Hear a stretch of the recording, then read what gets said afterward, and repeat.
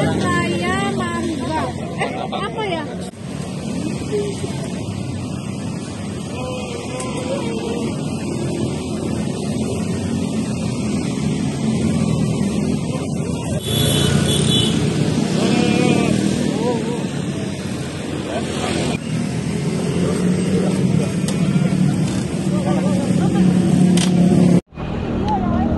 Ya Pak Dokter Pak, ya, ini pemeriksaan kesehatan secara berkala ini sekarang ini sudah menyasar berapa banyak lapak dan juga berapa banyak hewan kurban yang sudah dilakukan pemeriksaan. Uh, baik, jadi pemeriksaan ini rutin ya kita lakukan setiap tahun. Nah kita uh, sampai sejauh ini sudah sekitar seratusan dua puluhan lapak yang sudah kita uh, periksa.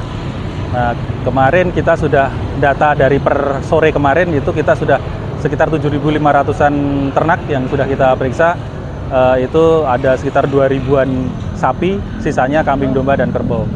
Nah, dari sejauh pemeriksaan itu uh, belum ada atau tidak ada penyakit-penyakit uh, yang harus kita waspadai ya. Maksudnya uh, dari penyakit-penyakit yang prioritas tidak ditemukan di sini.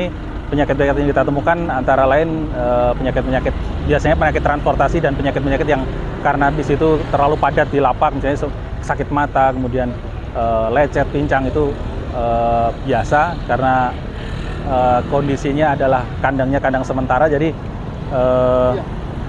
kejadian-kejadian uh, itu bisa wajar terjadi gitu. Dan itu sudah kita tangani. Selain